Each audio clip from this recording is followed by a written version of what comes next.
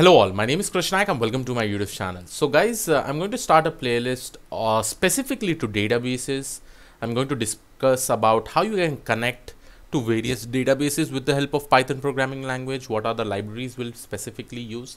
The name of the databases that I like to take is MongoDB. I've already created a playlist on that. MySQL, we have PostgreSQL, uh, we have SQLite, we have uh, S3 bucket, you know, uh, S3 bucket which is present in Amazon uh, AWS, right? That also will try to use. Uh, apart from that, um, did I forget any databases as such? Okay, you can mention all the databases that you want, but this specific playlist will be with respect to databases, and the pattern will be something like this. If you if you have seen my MongoDB uh, playlist, so the pattern was that I'll try to show you how you can do the installation in your local machine. Um, then how do you connect to that with the help of uh, uh, Python DB connector apart from that like in in mongodb i'll say that we had used pymongo right? So that was the library we installed it. Now in the case of uh, and uh, after that i'll also try to show you some of the very complex queries. So there i showed you how you can do the insert how you can solve all the complex CRUD operation apart from the query part. I'd actually solved that. And probably i've created five videos on mongodb now, similarly, I'll be continuing with respect to all the databases that we have, which are compatible with Python uh, programming language, where we can connect to them. Because this was the major concern for many people, you know, they wanted to work with different different databases, have some good amount of information. So, with respect to this, uh, in today's video, I'm starting with MySQL. Uh, again in mysql also we'll have around five to six videos. Then again we'll go to cassandra. Oh i missed cassandra. Yes. So cassandra db also i'll be taking. I'll be taking sqlite and uh, i'll be also taking s3 bucket. In s3 bucket if you remember the library that we use is something called as boto3 right? So these are kind of libraries we'll be using so that you'll get an idea about different databases and how do you actually work with that. But today videos we are going to start with mysql. So in order to download first of all installation of mysql so what I'm going to do is that I'll just search for MySQL download for Windows 10 and uh, probably I'm also doing the first time installation right now in my workstation. So uh, okay, there are two options of 32 bits over here. One is 24.5 MB, one is 427.6. I'll definitely go with this because I will be getting more options. Now here uh, you're getting an option where it says that you can also log in using your Oracle web account because if you really want all these things. Right now I'm not that interested so I'll just say no thanks, just start my download uh, quickly it will get downloaded. And if you don't know about mysql guys it is the most used databases right now. Uh, and many company use it you know. Uh, it is amazing uh, database uh, as you know that it follows an rdbms structure. This that is relational database management system. So this installation is gone. I will just execute this. Let's see uh, i don't know. If i face any problem let's see. With respect to the installation we'll learn together okay now first thing uh, de developer default server only client only full custom. So first of all we'll select with developer default uh, we'll try to see what all things we'll get in a developer things. Uh, other things when I'll be doing with respect to the web part in, sorry in the cloud when I'm actually putting this particular server when I'm creating this server or this database sorry not server database at that time we'll discuss about various options over there. Uh, I'll select next uh, okay it says is it empty? Okay let me just remove this. Okay I think now it's fine right? You still have warnings you have selected. Are you sure you want to continue? Ooh, okay let's see.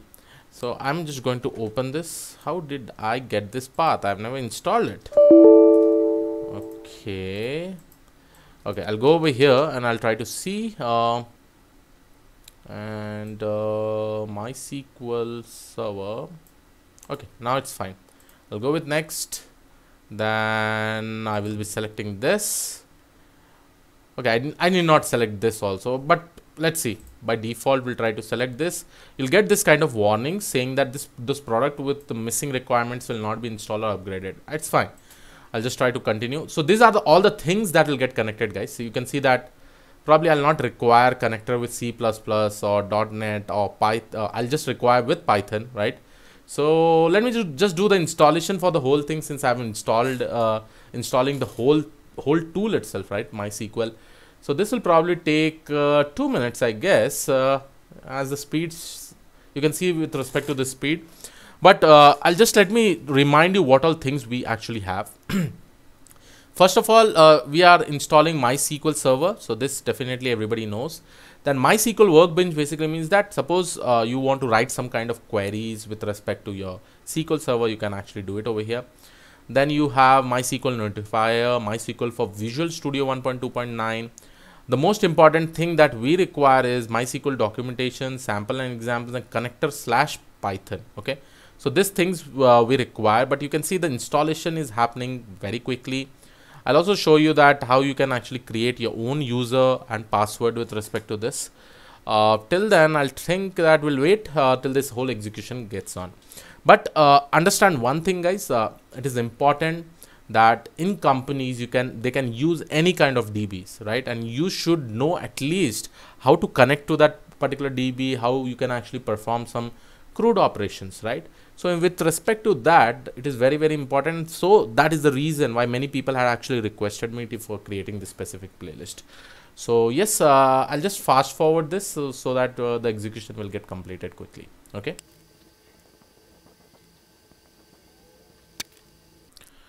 So guys you can see over here the installation of all these particular products has been completed. So we will go to the next step. So here you can see uh, again we can directly select next now we are going to this high availability high availability zone. And in this guys uh, we don't want any db clusters right now. Probably when we are doing this in cloud we may require. Right now i'm just want to a standalone mysql server. So i'm just going to select this. You can see that by default you'll be assigned a port of 3306 so yes uh, so this particular port we will be working on.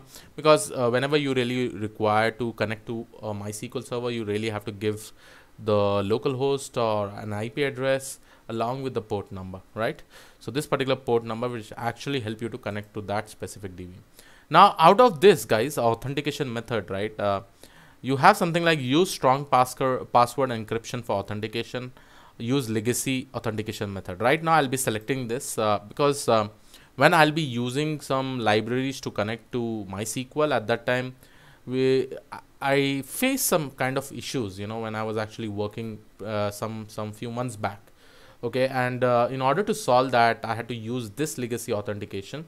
I'll try to tell you that particular error what I had actually faced when I'm doing the practical application. So please make sure that you select this okay? Don't select this. Uh, this should be selected when you are actually working in the cloud okay? Now I'll be selecting next. Now you can see that MySQL root password I'll just select uh, 1 2 3 4 5 1 2 3 4 5 I'll just select this. Uh, it says weak. It's okay. I don't care. Uh, anyhow that is not in my local. So sorry not in the cloud uh, not in the server. So here i'm also creating one additional user like uh, krish. And apart from that i will also write 1 2 3 4 5 uh, 1 2 3 4 5 so i'll say okay. Uh, this looks fine. Krish is been added. And i'll go to the next. Now this will be the service that will be running in your services itself. Uh, you can also change the name if you want. This will be your windows service name. That basically means in order to run the mysql in your local machine this service will be running continuously in the back backend you will be able to see this in your uh, services uh, side you know. So if if you go and search for services over here right? So inside the services you'll be able to see. Like if i give an example of mongodb right so if i go and see search for mongodb mongodb is always running now if i try to install this then this will also be uh, it'll be running in the backend now when I select execute, make sure that this all steps are executed correctly. If it does not get executed correctly, that basically means you really have messed up your installation. Uh, probably I may also face this particular issue. Let's see. Okay, now it's it has shown that yes, you can see that new service added to the monitored list MySQL uh, 80. Now if I go over here and if I if I uh, close this, okay, let me just go and select services probably I'll be able to see MySQL services running somewhere. Okay, uh, let me see. See, MySQL 80 service is actually running. Okay, so this is where I actually wanted to show you. Now, after this, this is done. You just do finish, right? And then you select next in the product configuration. if you really want to test the connection uh, you can actually test it but I really don't want to do it with respect to router connection configuration right now. But to test your connection also I'll show you. When you do next next you just write 1234 over here uh, to check the password. If you go and check it okay it says connection failed because I wrote wrong password right? My password was 12345 if I write 1234 it will give me error. Okay. Over here if I write 5 it will give me correct. Now over here if I use my user that I created Krish and 1234 it will give me an error. If I use 12345 it will give me connection succeeded. Okay. Now mm, I will just go select next and execute it. Okay. So all this execution should happen perfectly so that you'll be able to do it perfectly. Okay. Now the next thing that I'm going to do guys over here okay one databases were processed for migration. Okay I really don't want to see this right now. Now uh, this you can see over here this is done. I'll be finishing it. Okay still I have some steps. Let's finish this. Okay so this is got executed you can see. And this is the MySQL workbench. Okay now uh, when I click this okay sorry I will go and click on databases connect to databases and this will be my local instance. You can see localhost 3306 username root. A password is already stored over here so i'm going to select ok. One two three four five is my password. Now here you can see this one. Now by default i have show databases. Uh, you can also write your own command with respect to this. I hope it is visible guys.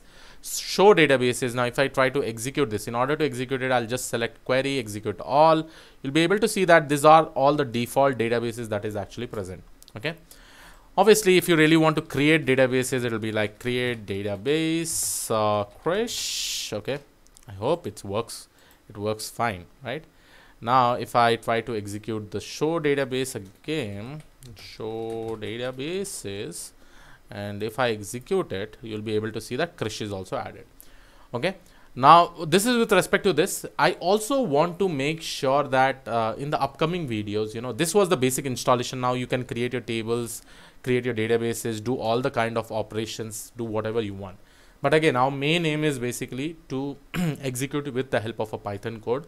So with the help of the python code i'll show you in my second tutorial after this. But i hope you understood it. I hope you liked it uh, please do let me know whether you face any kind of issues while installing MySQL. Uh, will I'll try to reply back in the comment. But I think uh, you can also explore, try to explore things. And yes, guys, uh, this was all about this particular video. In the second video, I will try to show you that what all drivers will try to re will require when we are uh, trying to connect to the MySQL from the Python programming language and uh, the library that we'll be requiring is something called as MySQL connector Python which we will try to install it in my next video in front of you. Then I'll try to show you how you can create a database how you can create tables how you can query columns how, sorry how you can query from the table how you can do perform more complex operation. So again it will be around four to five videos with respect to this. After we complete this we'll move to cassandra right? So i hope you like this particular video. Please do subscribe to the channel. If you're not already subscribed i'll see you in the next video. Have a great day thank you one and all. Bye bye